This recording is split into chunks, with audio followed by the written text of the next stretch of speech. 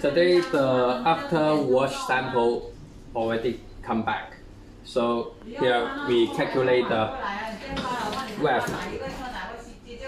Before wash it is uh, 50 centimeter, but now almost changed to 41 centimeter in weft. 六只那个呃大 in wolf 大板出来了，嗯 from 50 centimeter change to 47 centimeter. So it means in the website, the shrinkage about 90%.